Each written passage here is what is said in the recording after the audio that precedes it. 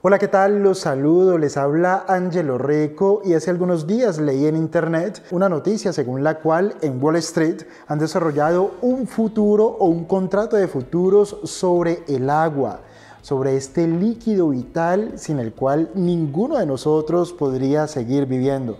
Esta noticia es muy interesante, sin embargo, no es nada espectacular porque ya tenemos contratos de futuros, por ejemplo, sobre el petróleo, sobre el gas natural, sobre commodities agrícolas, sobre divisas y sobre todo lo que ustedes se puedan imaginar. Incluso existen futuros para el clima futuro. El hecho es que existe una gran diferencia, por ejemplo, entre el petróleo que es algo que no necesitamos beber para sobrevivir, y el agua, que sí que es un líquido vital. Para mí esto hubiera pasado muy desapercibido, es un nuevo contrato de futuros y de hecho todos los que entendemos este tema creemos que estaban demorados en elaborar o en construir un futuro sobre el agua. Pero me llamó la atención un tweet que aquí lo voy a, poner, eh, eh, enviado por un político español. Recuerden que yo vivo en España este político se llama Íñigo Errejón. Para los que no conozcan a Íñigo Errejón, pues lo encontrarán fácilmente a través de Google, pero Íñigo Errejón fue el mismo que lloró a moco tendido cuando murió Hugo Chávez. No sé quién de nosotros eh, habrá llorado cuando murió Hugo Chávez. Y también es el mismo que últimamente está eh, pedaleando el tema para que la jornada laboral aquí en España sea de cuatro días apenas. Es, hasta aquí sería muy bien, pero me inquietan mucho sus razones y él dice que necesitamos en España una jornada laboral de cuatro días para que la gente tenga más tiempo para dedicarse a la política. Me gustaría a mí que este tipo de políticos investigaran un poco más acerca de cómo viven en aquellos países donde la mayoría de la gente se dedica a hacer política en lugar de dedicarse a producir riqueza, a construir negocios y a generar empleos.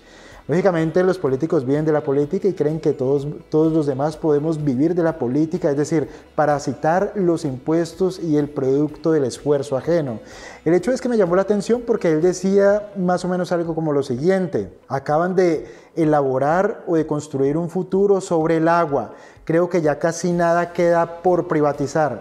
Este mensaje de Íñigo Errejón tiene un montón de falsedades intrínsecas dentro de este tuit y lógicamente como, como político él está intentando es avivar la llama de la guerra social, avivar la llama de la lucha de clases para intentar pescar votos en río revuelto. Pero lógicamente eh, este tuit tiene mucha ignorancia de parte de él. La mayoría de los políticos son una panda de ignorantes pero él en el fondo estoy completamente seguro que está intentando beneficiarse de la ignorancia que tienen la mayoría de las personas acerca de este tipo de temas y en eso es en lo que me quiero concentrar. Quiero explicar qué son los futuros, para qué sirven y quiénes son los que los utilizan. Y para comprender un poco mejor cómo funcionan los futuros, eh, pensemos en lo siguiente, pensemos en alguien que no nos cae bien o en alguien que odiamos, o por ejemplo en alguien que desde nuestro punto de vista tiene hábitos de vida equivocados, hábitos de tipo financiero o hábitos personales, que como son equivocados desde nuestro punto de vista, seguramente los harán a ellos entrar en decadencia Pensemos en alguien que nos caiga mal o que tiene hábitos equivocados. Inmediatamente pensamos, no, a esta persona probablemente le va a ir mal, o en términos financieros, o en términos profesionales, o en términos personales. Si nosotros creemos que a esta persona le va a ir mal o va a entrar en decadencia, seguramente, y si además nos cae mal, seguramente eh, estaríamos bien si nos pusiéramos cortos en esta persona. Ponerse corto no es otra cosa que venderlo a un precio por aquí arriba y a medida que el precio de aquello cae, tendremos la oportunidad de comprarlo aquí debajo y la diferencia entre vender aquí arriba y comprar aquí debajo será un beneficio y será lo que nosotros obtendríamos. Ahora pensemos en alguien que nos cae bien, en alguien espectacular, en alguien que desde nuestro punto de vista tiene los hábitos correctos, tiene la forma de ser correcta, en alguien que es servicial, que soluciona problemas, en alguien inteligente, en alguien educado, en alguien entrenado, en alguien que tiene actitud de servicio. Y nosotros decimos, inmediatamente, wow, esta persona, para esta persona el límite será el cielo. Si tuviéramos la oportunidad, podríamos eh, operar en largo con esa persona, es decir, comprar aquí, aquí abajo y como esa persona, según nuestro pronóstico, esta persona va a despuntar, en algún, en algún momento del futuro podríamos vender aquí arriba. Si creemos que tiene los hábitos incorrectos, podríamos ponernos cortos y si creemos que tiene la actitud o los hábitos adecuados, podríamos ponernos largos y beneficiarnos de esta subida. Pues bien, la única forma de operar en corto, por ejemplo, es a través de derivados financieros. Existen muchos tipos de derivados financieros. Uno de ellos son los futuros financieros. Y esto me lleva a lo siguiente, es explicar qué son los futuros. Los futuros son un contrato financiero a través del cual yo puedo comprar o vender en el futuro un activo a un precio definido. Por ejemplo, si yo soy una compañía petrolera, ¿cuál es mi actividad? Vender petróleo. Todos sabemos lo que ocurrió con los precios del petróleo a lo largo o mejor aún durante la peor parte del año 2020, cuando el barril de petróleo West Texas llegó a cotizar a menos 44 dólares. Las compañías petroleras pueden decir, mira, existe una gran incertidumbre acerca del precio futuro del petróleo. En este momento el precio del petróleo cotiza a 45 dólares. Quisiera tener una mayor certidumbre acerca de a qué precio podría yo vender el, barril de petróleo West, West, Texas dentro de seis meses. Entonces ellas lo que tienen que hacer y lo que hacen es ir a los mercados de futuros y observar los mercados de futuros sobre el petróleo West Texas con vencimiento en seis meses. Según el mercado, y esto depende de la interacción de la oferta y la demanda en cada momento del tiempo, el mercado de futuros con vencimiento en seis meses para el petróleo West Texas podría estar en este momento cotizando a 55 dólares el barril o podría estar cotizando a 35 dólares el barril. El hecho es que el director financiero o el vicepresidente financiero de esta compañía petrolera podría decir, mira, ahora el petróleo cotiza a 45 dólares, el petróleo con vencimiento en seis meses cotiza a 55. Según mis cálculos, ese es un número favorable para nuestra y decide comprar estos contratos de futuros sobre el petróleo que serán futuros para vender petróleo dentro de seis meses a un precio de 55 dólares. Pensemos en lo siguiente, si dentro de seis meses el precio del barril de petróleo West Texas cotiza a 35 dólares, entonces esta compañía petrolera habrá realizado un buen negocio porque podrá vender su petróleo a 55 y no a 35, que es a lo que está cotizando el mercado. Para esto sirven los futuros. Los futuros sirven para dar certidumbre allí donde existe volatilidad. Otro ejemplo, y allí podríamos poner a las aerolíneas. Dentro de la estructura de costos para las aerolíneas, la gasolina para los aviones es muy importante, vale muchísimo dentro de su estructura de costos y vale tanto o representa tanto que si el precio de la gasolina para los aviones sube demasiado, toda su operación podría dejar de ser rentable, podrían incluso llegar a quebrar si persiste en el tiempo. Por lo tanto, para las aerolíneas es una operación muy normal operar con futuros sobre la gasolina para aviones. Supongamos lo siguiente, si el precio, que es una materia prima para las aerolíneas, si el precio al contado en el mercado de contado de la gasolina para aviones es de 10 dólares. Seguramente el director financiero y la compañía quisieran tener certidumbre acerca de a qué precio podrán comprar esa gasolina en el futuro.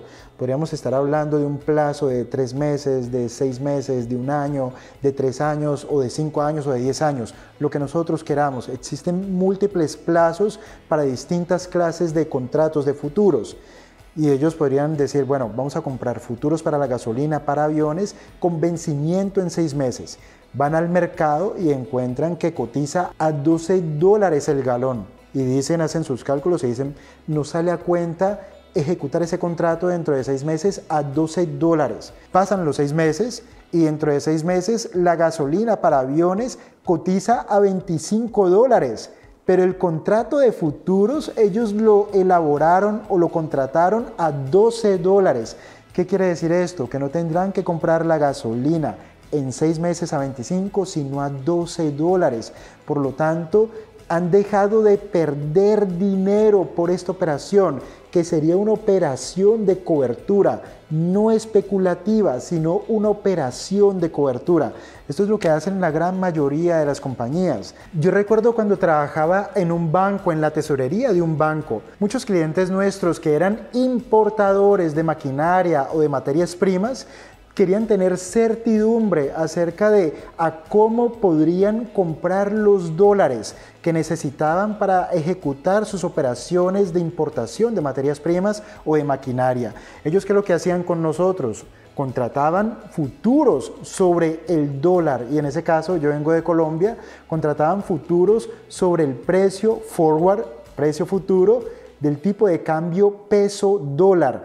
¿Qué es lo que ellos querían hacer? Tener certidumbre sobre el precio del dólar para que al momento de realizar sus operaciones de importación, esta operación fuera rentable para ellos o que por lo menos tuvieran la oportunidad de cubrir los costos. Las empresas quieren tener certidumbre sobre su estructura de costos. ¿Por qué? Porque las empresas planifican sus finanzas y planifican no solamente cuáles serán sus ingresos el próximo trimestre o el próximo año, sino que también hacen una planificación en términos de cuál será su estructura de costos y por esto derivados financieros como los futuros les sirven para realizar operaciones de cobertura y reducir la volatilidad allí donde los precios tienen volatilidad. Por lo tanto, el agua no es solamente algo que nosotros utilizamos para beber y que sin ella no podríamos vivir. El agua no es solamente el agua que sale de nuestro grifo.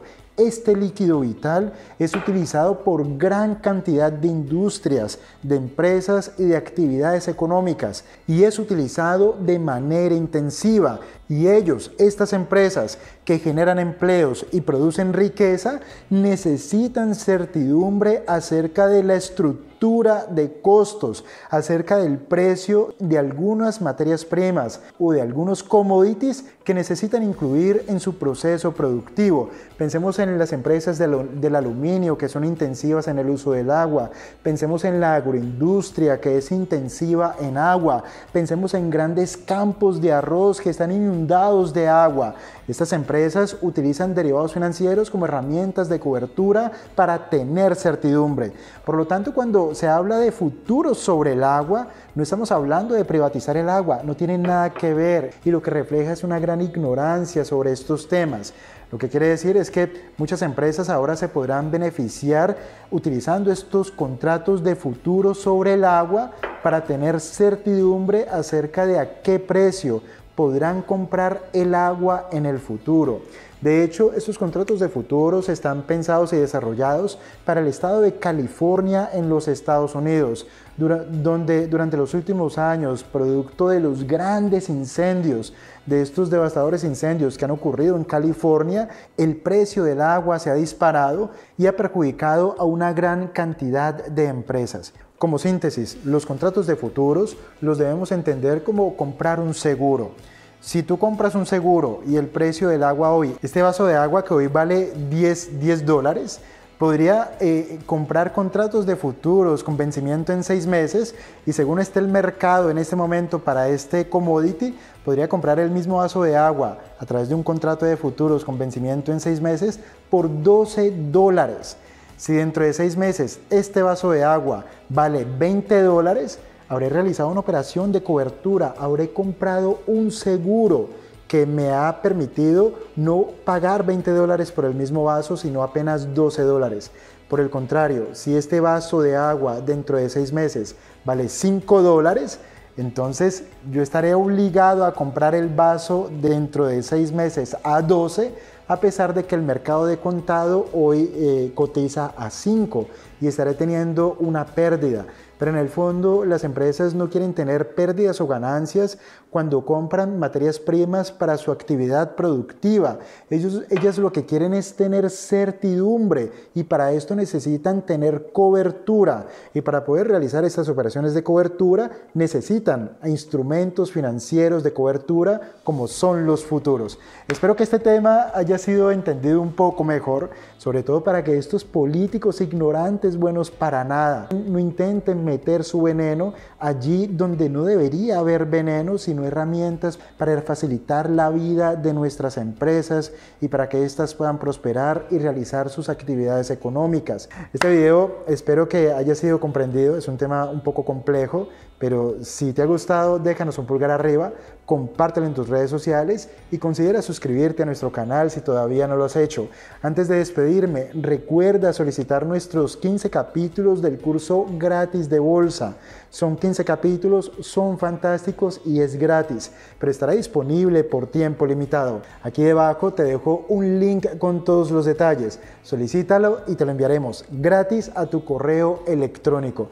Ahora sí me despido, nos vemos en el próximo video. Hasta pronto.